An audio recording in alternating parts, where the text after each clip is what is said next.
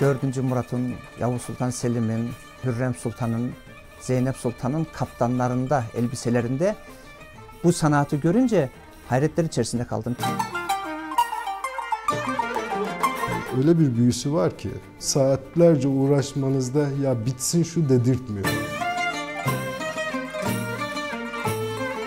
Çok e, incelikli bir sanat, e, çok el emeği, göz nuru isteyen bir sanat.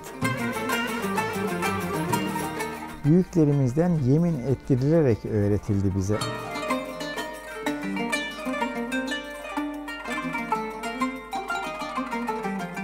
Öyle de oldu. Ettikleri yeminden asla dönmediler. Sadece hak edenlere, sabrını gümüşle, altınla eritenlere kapılarını açtılar ve içeri buyur ettiler. Bu öyle bir yemin ki asırlardır mührü kırılmayan, mahremini her daim saklı tutan, ifşa edilmeyen. Bu öyle bir yemin ki asırlardır sadece Türkiye'de Trabzonlu kazaz ustaları arasında duaya dönüşen.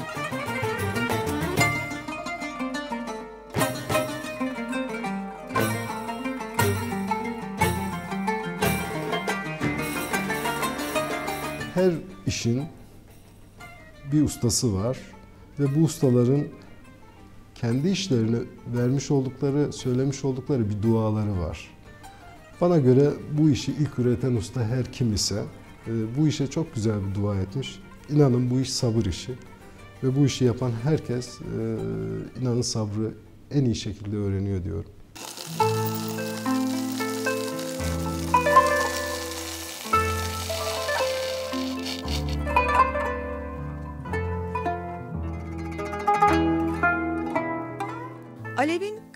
dansıyla açılır sahnenin perdeleri. Ateş topu gümüşü kıskıvrak yakalar. Avucunun içine alır. Yakıcı güzelliğiyle onu eritip bitirir. Gümüş artık demlenmiştir. Ama bu bir son değil, başlangıçtır. Gümüş kazaziye sanatı için incecik tellere dönüştürülür.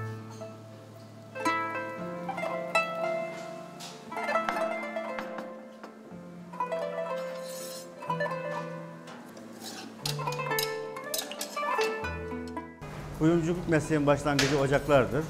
1200 santigrat derecede has gümüşü ocağa koyuyoruz. Bakır katıyoruz içine, eritiyoruz. Silindirlerde çekiyoruz. Arada tavlayıp asite sokuyoruz. Parlak çıksın diye, temiz çıksın diye. E, astarlarımızı astara döküyoruz. Büyük makinelerde çekiyoruz.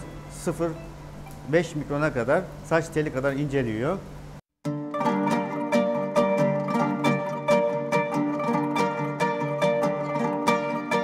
Kazaziye sanatı sadece Türkiye'de icra ediliyor. O nedenle dünyada eşi benzeri olmayan bir sanat. Zorluk derecesi daha ilk bakışta kendini belli eder. Kazazlık saç teli inceliğindeki gümüş ya da altın tellerin ibrişim, bugünkü adıyla saf ipek ipliğin üzerine yay gibi sıkıca sarılmasıyla ortaya çıkar. Ve ipekle madenin yakaladığı ahengin ehil ellerde takıya dönüşmesiyle.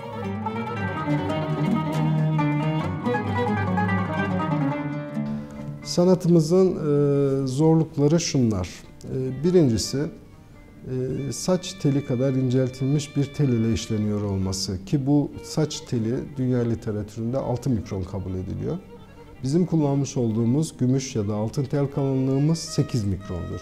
8 mikron olabilmesi için altın ya da gümüş çalışıyorsanız e, ikisinin de saf olması gerekiyor. Yani altın ise 24 ayar, gümüş ise 1000 ayar saf gümüş olması gerekiyor. Bunun sebebi eğer kullanmış olduğunuz metal altın ya da gümüş saf metal değilse uzama katsayısı bunu 8 mikrona kadar inceltmenize müsaade etmiyor. Yani 24 ayar olmaz ise 8 mikrona indirilemez. Saf gümüş olmaz ise 8 mikrona indirilemez. Bu işimizin temel e, başlangıç özelliği. Tabi 8 mikron saç teli kadar ince. Özel bir çıkrığımız var. Bu çıkrığımız sayesinde aynı yöne dönen e, silindirler ara kısma bağlamış olduğumuz ipek telin üzerine yay gibi hiç boşluk vermeden sıkıca sarmış olduğumuz yeni sarıla, sargılı e, altın ya da gümüş teller elde ediyoruz. çok hafif ve hassastır. En ufak bir darbede hemen kopar. Dikkatli bir şekilde ibrişimin üzerine sararız. Sütün gibi çıkması lazım. Hiçbir pürüz olmaması şartıyla ele değmeyecek şekilde iğneye hazırlık yaparız. 1 metre 20 santim boyunda o telimiz çekildikten sonra bildiğimiz terzi dikiş iğnesine bağlanır ve muhtelif tığlarda şişlerin üzerinde şekil örülerek her şeklin her bir yapılacak olan metanın ayrı bir düğümü vardır, ayrı bir işlemi vardır. O da aynı bir dikkat üzerinde dikilerek, örülerek şekillendirilir ve meydana gelir.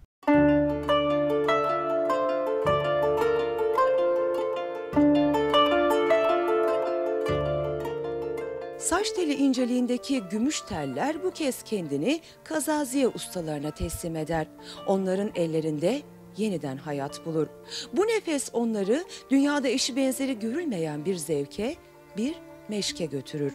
Kazaz gümüş telleri kanun ustasının ibadeti gibi örmeye başlar.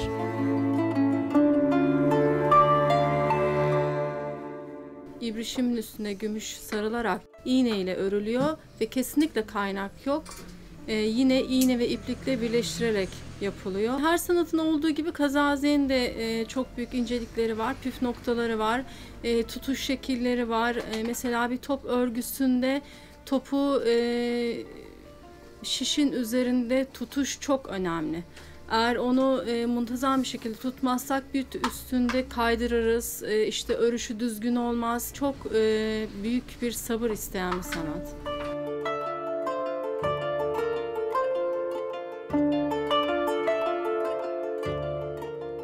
Ustamdan öğrendiğim kadarıyla kazaziyenin ismi altın, gümüş ve ibrişimin sevişmesi ve iğnenin ucuyla kazılarak yapılmasından metal. İğnenin ucundan nasıl bir şekil verilmesi madene?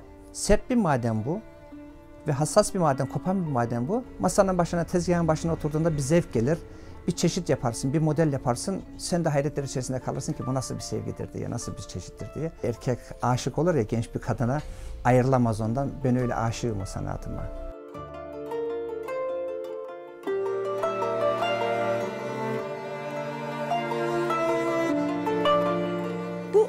Zor, öyle insanın sabrını sınayan bir iştir ki gün ışığı yetmez. Günler birbirini takip eder. Kazaz elinden düşürmediği iğneyle kuyu kazar. Zira gümüş ve altın tel dikiş iğnesine takılarak göz kamaştırıcı güzelliğe dönüşür.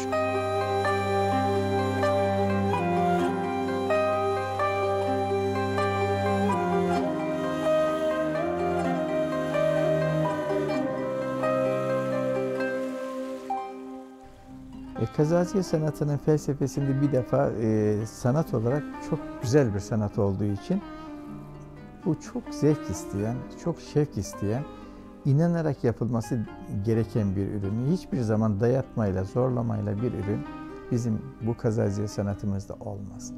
Bu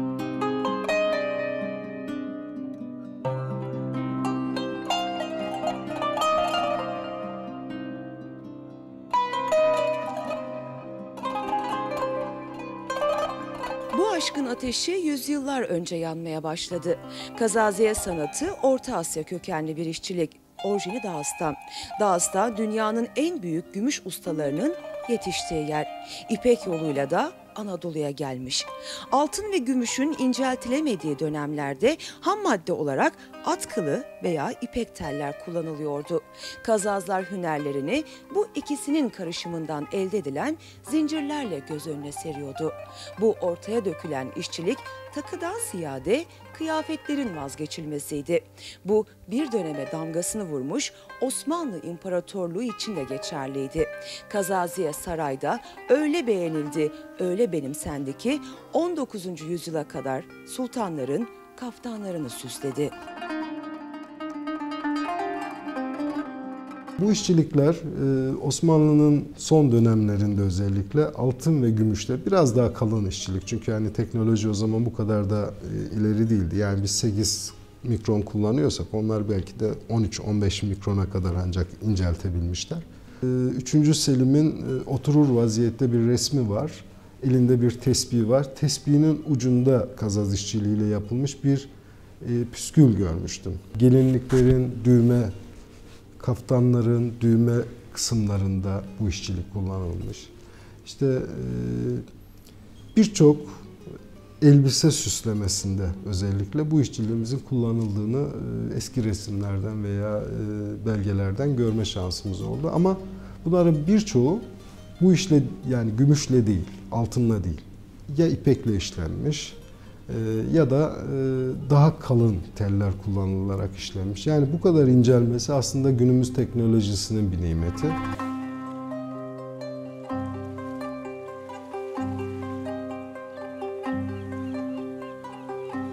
altından çok gümüş öne çıkıyor.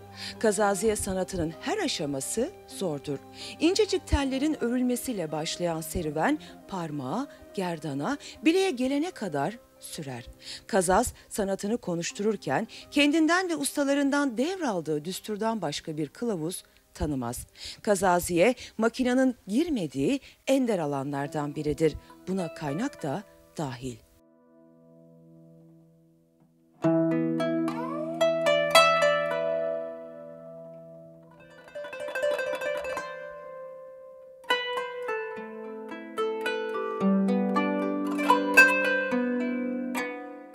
Çok hassas. Yani mikroskopla çalışabilecek olan bir metal insan, normal bir insanın yapabilecek olduğu şey. En büyük zorluğu göz nuru ve dikkat isteyen bir olay ve kaynak yok, ek yok.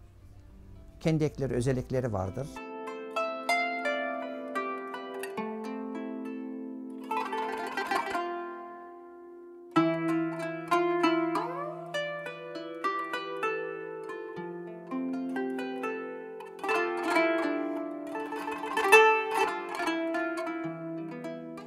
Kazaziye sanatının diğer gümüş işçiliklerimizden ayıran en belirgin özelliği. Birincisi diğer tüm e, iş ve işçiliklerimizde her türlü ısıl işlem yani ateş, asit uygulama şansınız var. Ama kazaziye işçiliğimizde e, belli bir aşamadan sonra e, kullanmış olduğunuz materyal altın ya da gümüş olsun hiçbir şekilde ona asit ya da ısıl bir işlem uygulayamıyorsunuz. Neden ateş ve asit kullanamıyoruz? Bu bahsetmiş olduğum sargıda içinde kullanmış olduğumuz ipek telin deforme olmaması içindir. Bu ipek telimiz e, bize sadece örme kıvamını sağlaması içindir. Bu örme kıvamı ile bu kadar farklı e, bir metalin dönüşler yaparak oluşturduğu motiflerin çıktığını göreceğiz. E, dolayısıyla siz ona herhangi bir ateş ya da e, asit işlem uyguladığınızda içerisinde kullanmış olduğunuz ipek e, deforme olacaktır ve ürünün bütünlüğünü bozacaktır.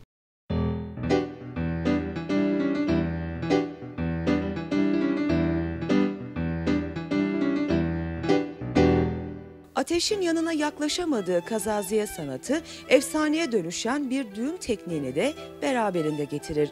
Buna yeminli düğüm denir.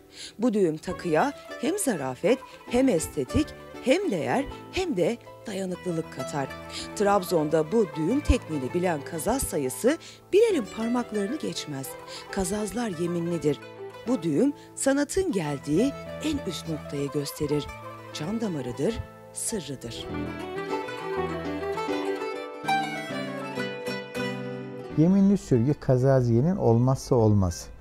Kazaziye herhangi bir tasarım yapıldığında en son bitiş noktalarının kaynak kullanılmadığı için kapatılacak olduğu yerlerde yeminli sürgü kullanılıyor.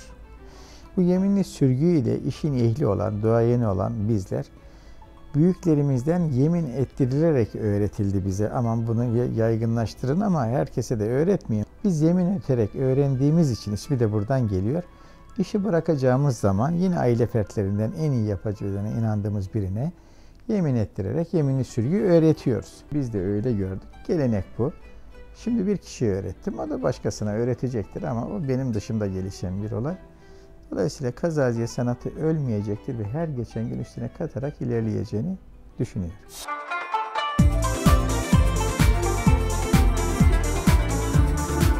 Zarif ve narin. Kazaziye sanatıyla ortaya çıkan takılar özellikle kadınların başını döndürüyor ve bu sadece Türkiye sınırlarında değil, yurt dışında da böyle.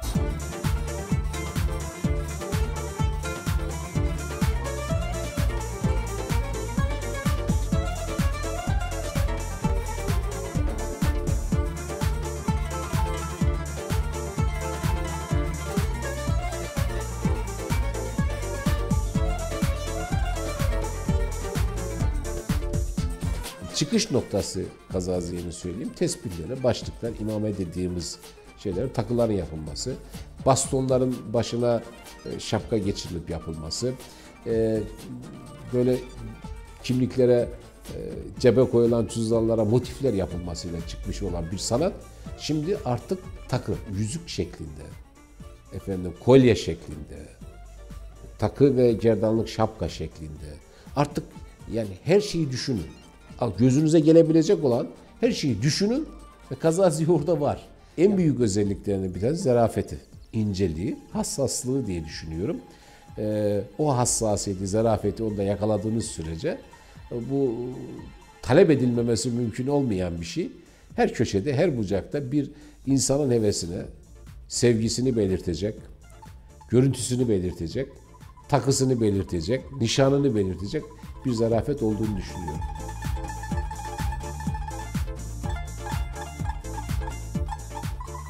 Biz o kadar bunu bir genişlettik ki bayanların bütün sevebilecek olduğu takı aksesuarlarının tümünü hatta ayakkabısını dahi o nazik telden, bin ayar telden ayakkabısını dahi yapmışızdır, kemerini yapmışızdır, küpelerini yapmışızdır.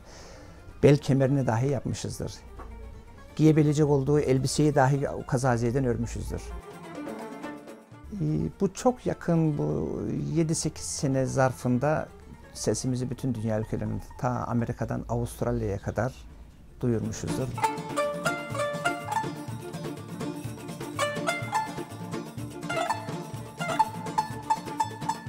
Bunu tesbih haline getirelim istedik. Buna tesbihini ürettik. İlk başta küçük boyut tesbih ürettik. Hadi bunun kendi içinde boyları olsun dedik. Küçük tesbihimiz yani 33'lük tesbihimizin 3 farklı boyunu oluşturduk. Ve 3 farklı boyun 99'luk tesbihini oluşturduk.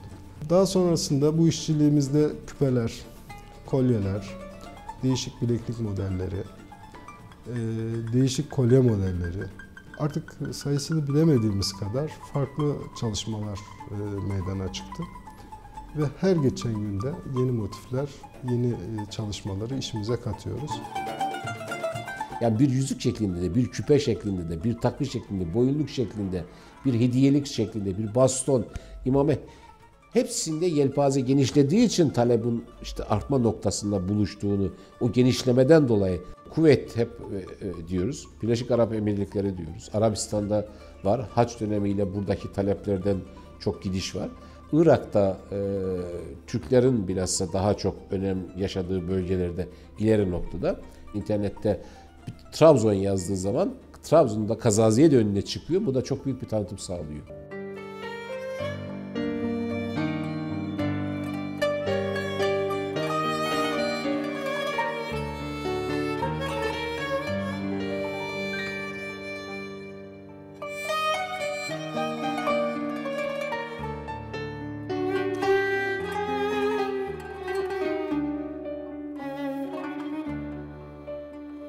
Yüzyıllara meydan okuyan bir sanat, zorluğu felsefesinde, özünde ve işçiliğinde ustadan diğer bir ustaya aktarılan Türkiye'nin yemini, yeminli gözdesi, kazaziye işçiliği.